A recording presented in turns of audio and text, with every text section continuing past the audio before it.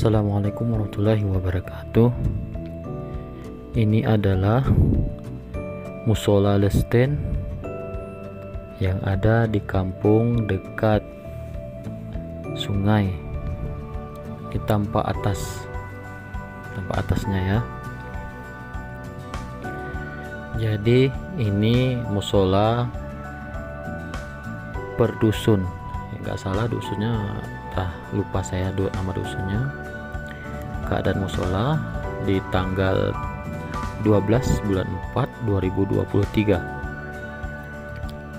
jadi ini kayaknya masih banyak hutan-hutan ya. Masih banyak yang belum dikelola.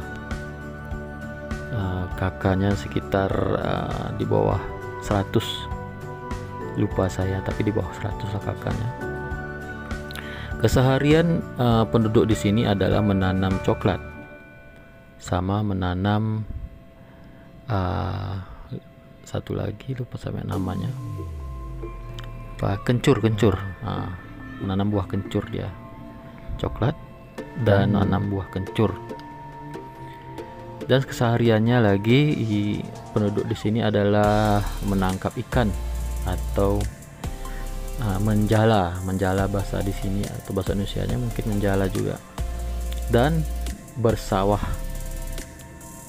Oke coba lihat. Nah inilah dia. Ini musola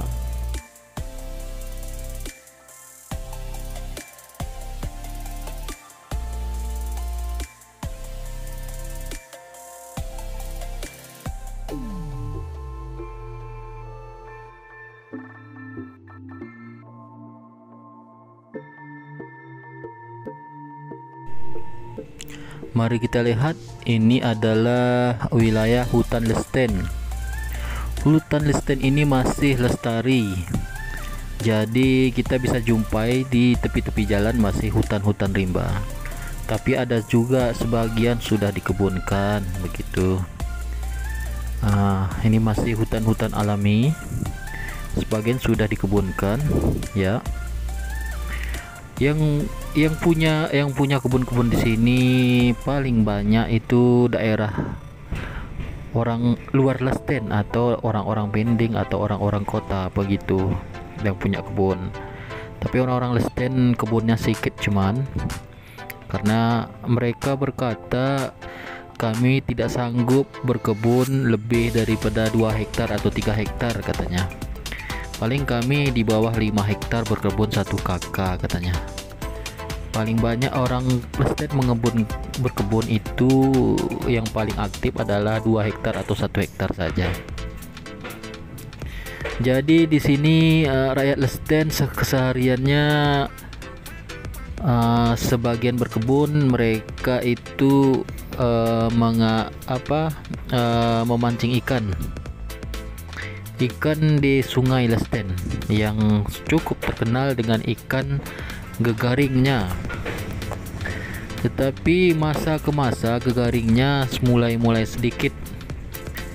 Ya gara-gara banyak penduduk uh, di luar Lesten datang ke sini setiap bulannya untuk menjala ikan gegaringnya.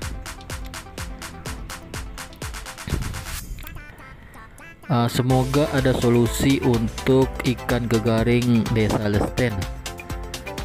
Setidaknya uh, di menanam gegaring di daerah-daerah Lesten yang di sungai. Begitu. Dan ini adalah Gunung Lesten yang amat-amat masih lestari dan masih uh, hutan rimba.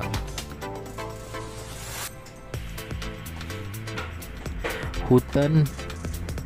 Gilsten ini memang sangat sangat sangat sangat uh, agak panas. Karena desa Lesten ini sudah berdekatan dengan daerah panas atau daerah rendah.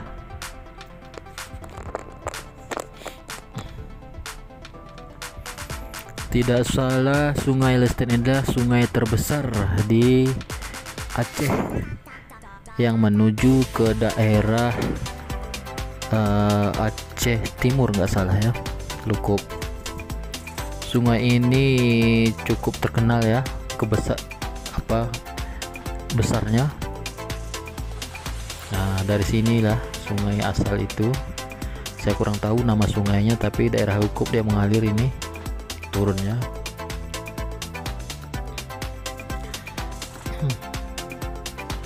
maaf jika videonya kurang bagus karena memang kameranya salah tekan plus negatif plus plus negatif 3 bukan 0 jadi kalau 0 dia tidak terlalu cerah seperti ini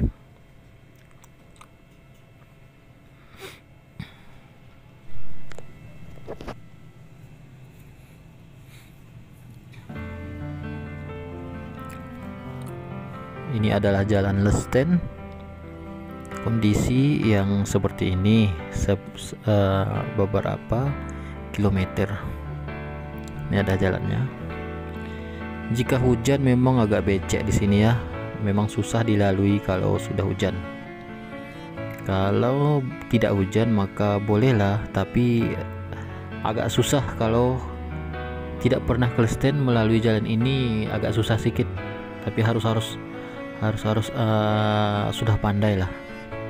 Jalannya agak-agak agak-agak gitulah, agak-agak motocross gitu jalannya susahnya.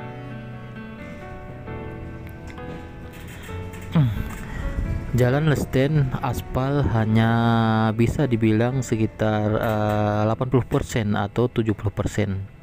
30 nya itu tidak aspal, masih bebatuan dan uh, becek-becek. Kalau hujan agak susah lah bisa lengket lah motor kita di sana atau mobil. Ya, ya sekian saja. Terima kasih. Jangan lupa tekan lonceng agar kami bisa berkarya lebih.